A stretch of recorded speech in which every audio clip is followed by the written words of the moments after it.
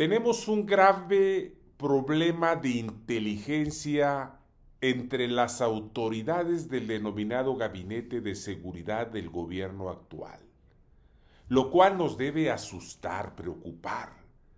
Y es que se reúnen todos los días a las seis de la mañana y parece que solamente beben café. Se han equivocado como ocurrió hoy. La señora Rosicela Rodríguez, quien es flamante secretaria de Seguridad Pública y quien tiene a su mando, se supone, a los 139 mil efectivos de la Guardia Nacional, entre otros, no sabe lo que dice.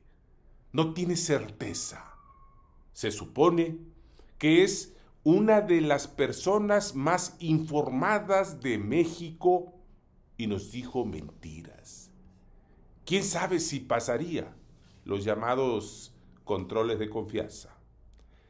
En la mañanera de este martes y en presencia del señor presidente, lamentó los asesinatos a balazos de Berta Gisela Gaitán, candidata a alcalde por Celaya, y de Adrián Guerrero Caracheo, candidato a regidor. Incluso dio el pésame con el clásico los hechos no quedarán impunes. La información de que estaba muerto, nos dicen, se la proporcionó el candidato a senador Ricardo Sheffield, el mismo personaje que daba los precios de las gasolinas los lunes. Pero, horas después, 13.25 horas de la tarde, en su oficina corrigieron mediante un comunicado que se habían equivocado, que el candidato a regidor no estaba muerto, sino desaparecido, no localizado. La fuente les había fallado, no lo dijeron. Horas después, Adrián fue localizado con vida.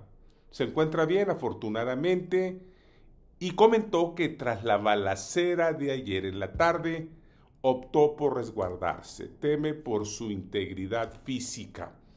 Hay que protegerlo. Dice que entró en contacto con la dirigencia de su partido y les comunicó que se encuentra bien. Hay tres heridos de la balacera de ayer.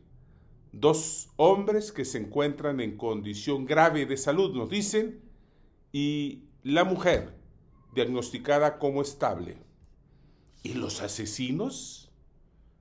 Debo decir que ya van 24 candidatos asesinados en este proceso electoral, el más violento de la historia del país.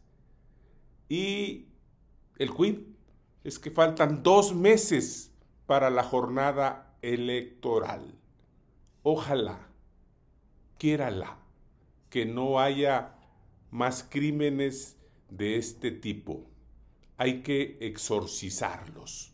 Fuerte abrazo.